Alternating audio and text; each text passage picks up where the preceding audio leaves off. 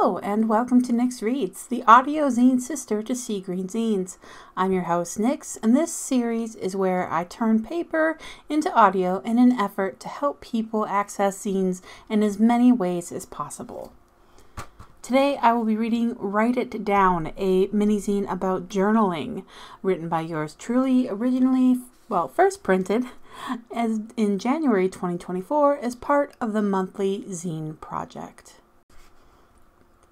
Write It Down, a mini zine about journaling. Journaling. If you're not already doing it, you've probably heard a number of different people from different sources talking about one type of journaling or another and how it helped them or even changed their lives. Even with so many people saying this, I have friends who resist the idea of journaling.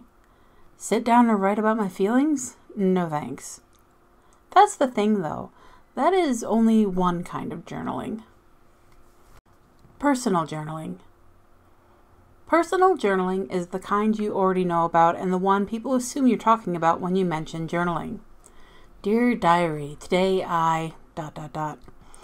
While this may seem boring to some, processing your day or an event or an argument or on paper or screen, though typing versus handwriting will engage your brain in different ways, can help you to step away from any situation and take the emotional power out of a situation that's weighing on you. Gratitude journaling. Gratitude journaling is pretty self descriptive. Journal about what you're grateful for. And for some people, that's more than enough direction to do just that and see benefits from it. Some note one thing a day that they are grateful for. Some make it into an art project and do things like create a sun for the month, and each ray of the sun being spaced to write in what they are grateful for on that day.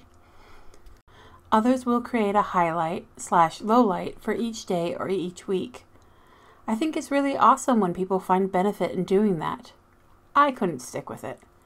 However, when I added a bit more to it, then I began to see benefit. I not only slowed down and focused, but could see trends thanks to daily reflection style journaling mentioned by Struthless on YouTube. 1. What excited me? 2. What drained me of energy? 3. What did I learn? 4. What am I grateful for? Number 4 is my add on and a good wind down question after the previous ones. Bullet journaling. I think one of the reasons I love bullet journaling and even made a zine about it is because it reminds me of zines. Yeah, there is a system to how you can do it, but you don't have to. You are only really limited by your imagination. While that can be overwhelming, I do recommend starting off with Ryder Carroll's Basics. It can also mean complete freedom to making a journal that is everything and anything you want it to be. Not only that, a bullet journal can encompass other kinds of journaling. You can reflect, note gratitude, mood journal, dream journal, and anything else you want in there. It's free for you to experiment with. It's a little too free for some, which is totally understandable. I do recommend giving it a go for a while though, because you never know what you might discover about yourself or what you want and need in journaling. It's the one system I keep coming back to again and again. Journaling can be whatever you want it to be. There are so many different types you can do, including combining types. For example, art journaling along with travel journaling, or gratitude with reflections.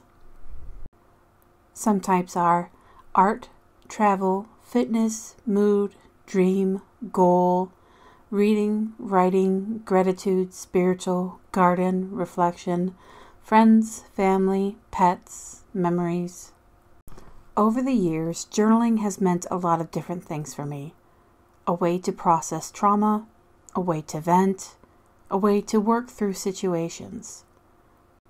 I've had journals I wrote for specific people, one time as a gift, and other times to be able to say, or not say, the things I'd never be able to say out loud. As I get older and my brain gets foggier thanks to pain, chronic illness, and some medications, I've gravitated a lot to daily journaling as my memory keeping as well as me time. Does it matter that I discovered the best sushi roll you can get in Murray Bridge? Probably not, but it was part of what made the day beautiful, and it will make me smile when I look back on it. I won't let another year go by with no real idea of what I actually did, said, experienced, etc. I want to remember the stupid jokes, burning dinner, weird, silly stuff with friends, and more.